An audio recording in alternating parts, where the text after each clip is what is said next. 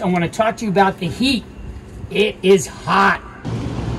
All week long, Revere has been roasting in a blistering heat wave. But Patriots have been finding creative ways to keep their cool.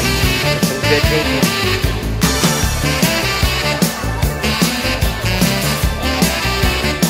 When students want a frozen treat, they know where to go.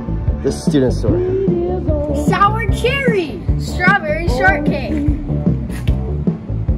It's sweet to stay cool. I was gonna do my homework, but I'm just gonna eat some Otter Pops instead. Just do it.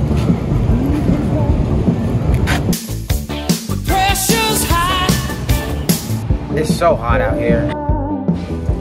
It is great. To hydrate. Until the temperature comes down, we're just going to have to make the best of it.